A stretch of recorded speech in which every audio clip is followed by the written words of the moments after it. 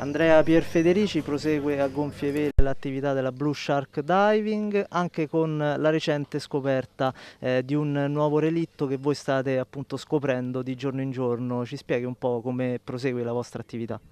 Sì, innanzitutto dobbiamo ringraziare Simone Perucci che ha scoperto questo relitto e prontamente l'ha comunicato alla direzione marittima di Civitavecchia, comandata dal comandante Thomas, che in questo senso ha veramente messo in piedi immediatamente tutte quelle che erano e sono le prescrizioni e diciamo così, le dinamiche necessarie affinché questo relitto potesse divenire comunque fruibile alla subacquea ricreativa. La nostra SD ovviamente si è attivata subito dopo queste operazioni eh, appunto messe in piedi dalla, dalla cabina di porto e abbiamo iniziato una serie di immersioni grazie alle quali siamo riusciti innanzitutto a datare questo relitto perché siamo entrati all'interno proprio oggi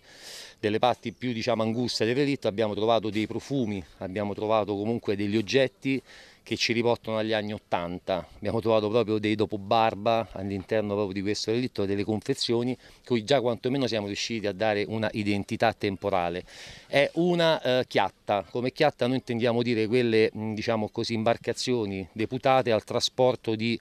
eh, diciamo, macchine da lavoro, dunque gru, ruspe e cose varie o comunque per il trasporto per esempio di sedimenti e cose varie. 50 metri circa per 10 di larghezza, alla profondità di 36 metri,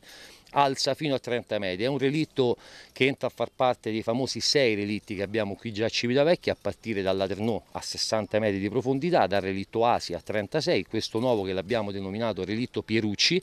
il Transmit, l'Iburna, l'Asia 2 e poi abbiamo anche un altro relitto che è più fondo che ha 80 metri che è solo per subacquei tecnici. Ma questo relitto è stato particolare perché è adiacente a un relitto che già conosciamo da circa 20 anni che è il relitto Asia e sta a poco meno di 300 metri, è incredibile come nonostante l'interno intensa attività subacquea nessuno se ne fosse mai accorto, tantomeno il sottoscritto che conosce questo mare passo dopo passo. Proprio perché era vicino è un po' come trovare il forziere d'oro sotto il letto di casa, l'abbiamo trovato, l'ha trovato Simone, ce l'ha comunicato e adesso lo stiamo esplorando. Chiaro è che di concerto con l'autorità marittima e l'amministrazione comunale nostra, la nostra SD sta lavorando in maniera tale di poter effettuare delle immersioni in sicurezza. Questo significa che questa immersione viene, almeno da parte nostra, organizzata esclusivamente con subacquei professionisti, cioè persone comunque in grado di poter espletare questa attività con miscele particolari a quelle profondità, perché comunque 30-35 metri non sono pochi sott'acqua, per cui la sicurezza sempre al primo posto.